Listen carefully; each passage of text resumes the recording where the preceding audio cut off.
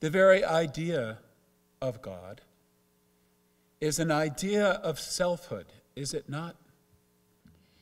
I have little interest in presenting to you the God of religion or ideas about it, except as those ideas might assist us to come in contact and, be, and begin to know more fully the God of reality, God the manifest. There's God the possible at some higher level of being. There's God the means, which is us in the middle of the, the home of consciousness in which we live. And then there is what precipitates, precipitates out of all that as manifestation.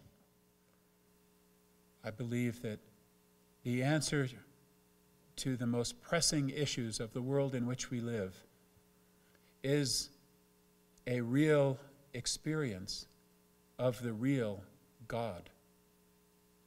And that isn't just something up there, it's not just an idea in a book like this.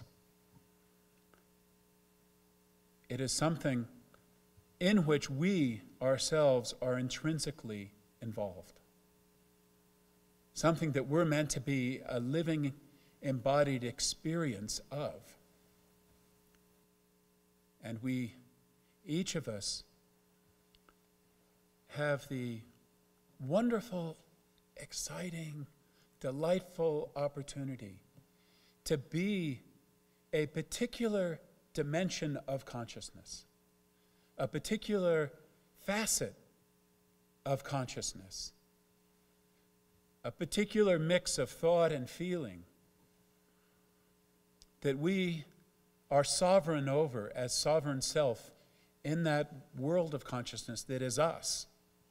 And we have the opportunity to be that with each other and to light in sharing what that is on any given day for us, and then in cherishing what that is for another person, and then for all of us together, and learning to do the dance of that our selfhood is in the middle of this sea of thought and feeling. But so often that sea is not actually working well together. Where is the answer? And where is the problem? Right? It's how we're thinking and feeling. And that's causing how, how we're thinking and feeling together. And it's a mess as humanity. It's a mess. And that mess that you see all around, it isn't just out there. By the nature of reality that, that replicates, yeah, it's out there, but it's replicated in here. In my consciousness, it's a mess.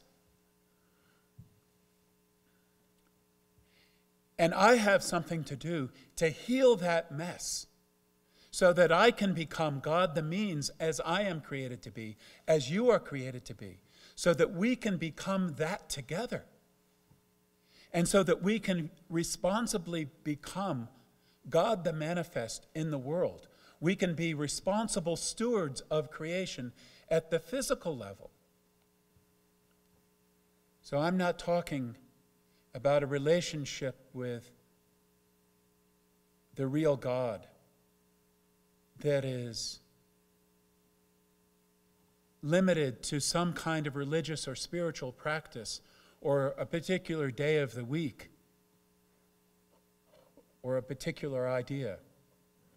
I'm talking about a whole body, whole life,